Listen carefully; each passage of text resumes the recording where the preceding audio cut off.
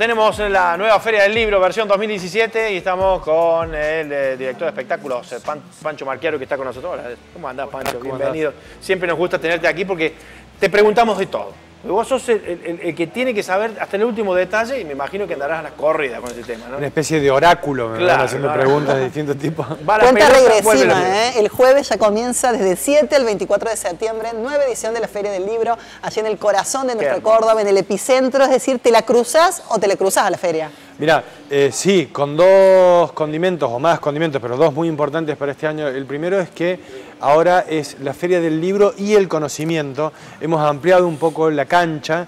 El libro sigue teniendo un espacio medular y es objeto de nuestro cuidado, de nuestro amor y de la preocupación del Estado municipal y de los otros estados vinculados con la organización de la feria, pero hemos extendido la zona de debate pensando que la Feria del Libro y el Conocimiento no solo era un episodio para el intercambio de ejemplares por dinero o por la, actividad comercial, editorial, sino que también era una oportunidad magnífica para construir un gran festival de ideas donde el pensamiento, el debate, la discusión, los seminarios y los ciclos, conjuntamente con una nueva impronta tecnológica, sean un epicentro en Córdoba y desde Córdoba para todo el interior del país, porque esta feria es tal vez el acontecimiento cultural más importante del país fuera de lo que sucede en la ciudad autónoma de Buenos Aires.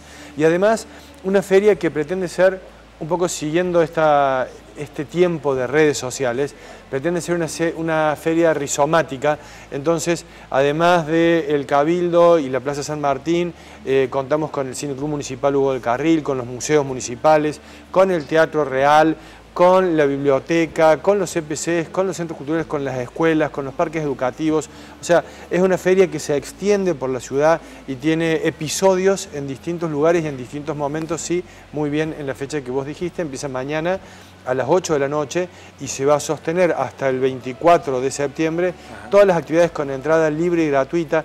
Ahí hay que destacar... Hay eh, invitados especiales, ¿no? Efectivamente, hay una serie de invitados especiales muy potentes.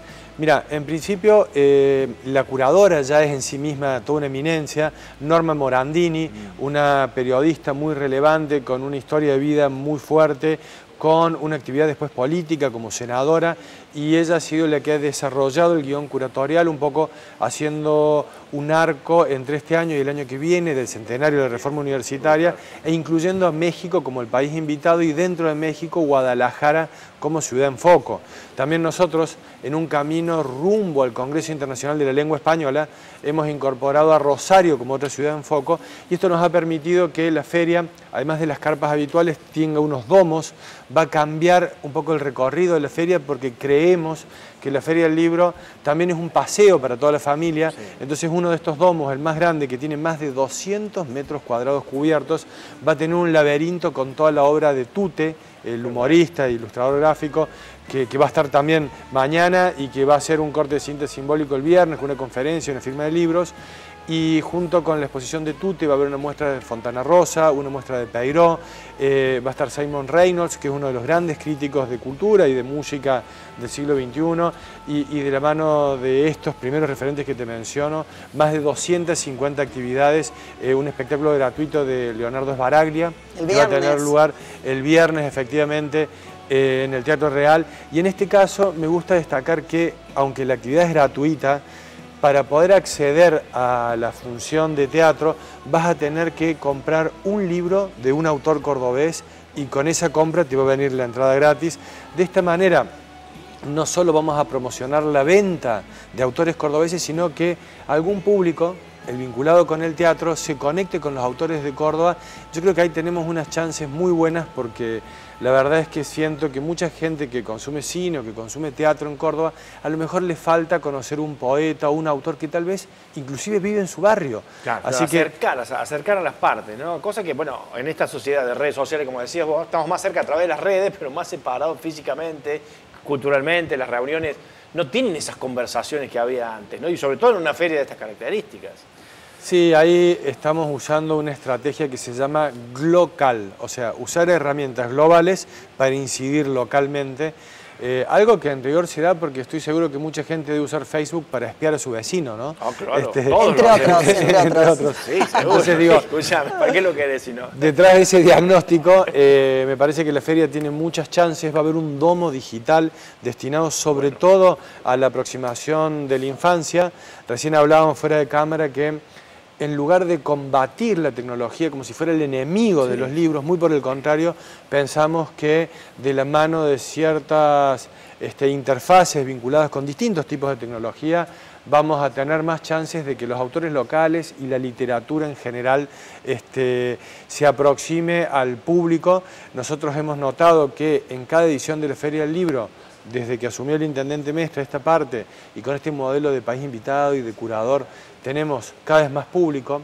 En 2012 casi 350.000 personas nos visitaron y en 2016 cerca de 800.000. Fíjate uh, qué buena curva ascendiente de, flujo de público hemos tenido, pero lamentablemente la industria editorial atraviesa tiempos difíciles. Eso te iba a preguntar, ¿no? ¿Qué está acompañando la industria editorial porque eh, no es fácil vender nada. Hoy por hoy, está complicado el, mercado, todo el mundo espera que los famosos brotes verdes y la la economía se instaure y lamentablemente el libro es una de las cosas de las cuales... Claro, porque se han modificado los soportes, entonces a partir de allí comienza el debate y tal vez la debacle para las industrias, ¿no?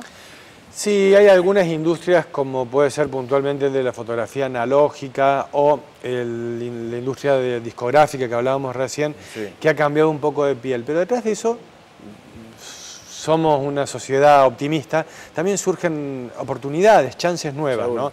Ha resurgido el disco de vinilo como una nueva variante de consumo musical, se escucha más música que nunca, aunque no se compran discos, hay este, giras de bandas internacionales movilizadas tal vez por la dificultad también para vender discos, con lo cual digo, eh, está cambiando la industria de la música y lo importante es la música y no necesariamente los soportes. En este caso la literatura y el conocimiento en estado puro son una chance también que la feria va a maximizar.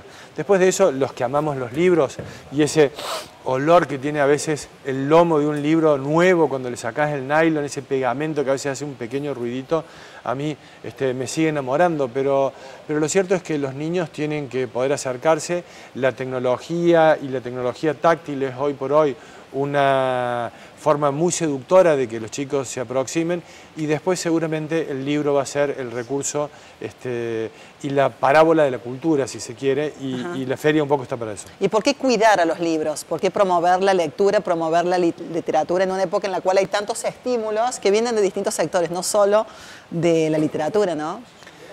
Mira, es una pregunta bien difícil y como de fondo y la respuesta podría ser una tesis doctoral y tal vez me quedaría corto porque, porque es un tema apasionante, pero te lo respondo con una metáfora de las redes sociales. Yo creo que Facebook es el libro de la historia de la vida de cada uno de nosotros y sencillamente lo que hace esta red social es arrancar las hojas, tirarlas y uno pasa como corriendo entre fragmentos de la vida de los libros de todos nosotros. Con lo cual, Finalmente, la vida y las redes sociales no dejan de ser un libro y para entender las redes sociales, la vida, siempre vas a necesitar un libro, ¿no? Como apoyatura este, fundamental. Entonces, una vida sin libros realmente sería un poco trágica y en base a eso es que estamos dando este, no una batalla, sino por el contrario, una fiesta. Yo entiendo que no hay que dar la batalla en defensa de los libros, sino que hay que hacer una fiesta y celebrar la literatura y seguramente ahí va a haber más oportunidades para que los autores, los pensadores y los lectores este, se encuentren más. ¿no? ¿Y cómo es la usina de Córdoba con respecto a la generación de libros, a la edición de nuevos títulos? ¿Cómo es el momento actual acá, en la provincia? Bueno, o en la ciudad, si lo eh, queremos acotar a tu área. La ciudad vive un episodio de mucha creatividad en materia de producción literaria, de producción editorial. Cada vez nuestras publicaciones son mejores y gustan más. Yo hoy por la mañana tomaba un café con un amigo que me decía, che, qué actividad con esto de la Feria del Libro, veo que todos los medios están haciendo eco y que hay mucha expectativa.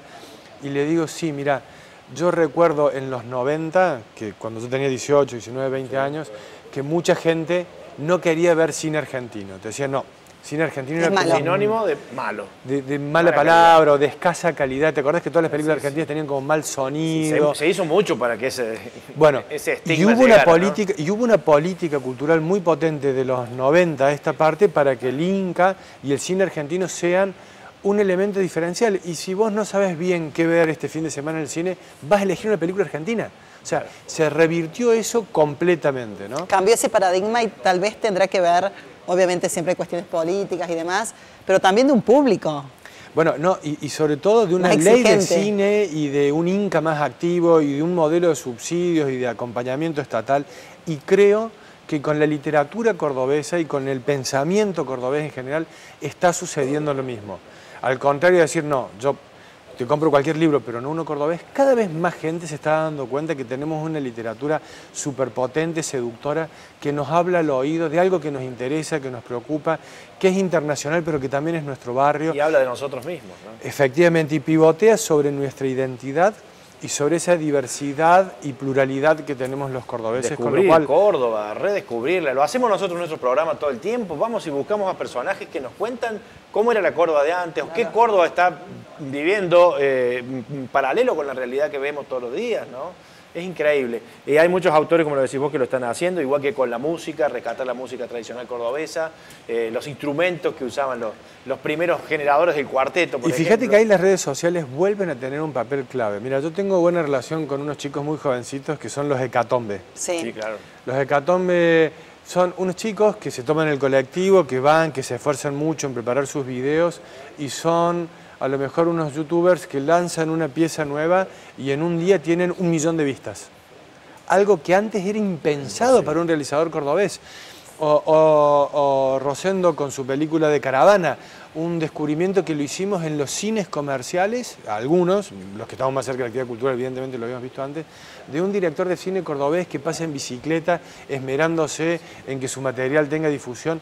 Yo creo que hay muchas chances y hay un público nuevo por seducir. Hoy de mañana me tocaron una charla en el Colegio Nacional de Montserrat, chicos de 17 años que si le hablas de algo que les interesa, bueno, seguramente van a comprar sus libros y es un público nuevo, joven, al que estamos seduciendo con mucho entusiasmo y esta Feria del Libro, la edición 2017, por instrucción del Intendente Mestre, le apunta a ese nuevo público, lo invitamos con mucho entusiasmo, con una inversión pública por parte del municipio, pero también a la que se le suma la Universidad Nacional de Córdoba, la SADE, la Calipacer y el gobierno de la provincia, o sea, estamos todos Claro, hay una decisión política de apoyar este tipo de actividades, si no sería bastante difícil de llevarlas adelante. Recién decías que bueno, Sí, los sí, jóvenes están invitados sí.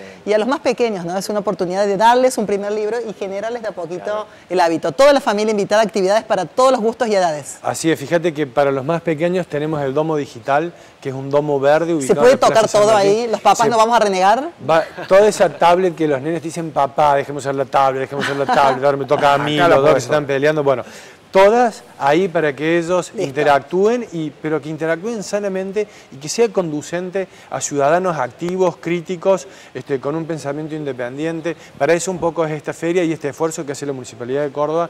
Como te decía, ustedes seguramente han notado un cambio muy marcado de 2012 a esta parte en la Feria del Libro y esta edición me gustaría escuchar el feedback de ustedes, que tengamos oportunidad de otro café sobre finales de septiembre para que me digan cómo lo vieron, cómo lo vivieron y por supuesto sus oyentes que son muchísimos. Buenísimo. Bueno, qué lindo este mes de Francisco, septiembre muchísimas gracias. feria, ¿eh? Felicitaciones, va a ser un éxito absoluto. A disfrutarla y a valorarla, porque la tenemos acá en Córdoba. Claro que sí. Gracias, Pancho. Saludos a todo el equipo. Felicitaciones por el trabajo. Bueno, muchas gracias y los esperamos en la Feria del Libro desde el jueves a las 20 hasta el domingo 24 de septiembre. Actividades libres, gratuitas, muchos libros para comprar y mucho cordobés por conocer. Y escuchaste el detalle. Después de septiembre me da la devolución. Es decir, que la agenda de Pancho está que explota. no, ¿eh? sí, Nos filtró. cosa, Dijo, no. después de septiembre los atiendo, chicos.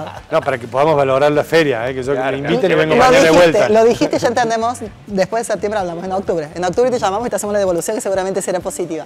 Gracias, Pancho.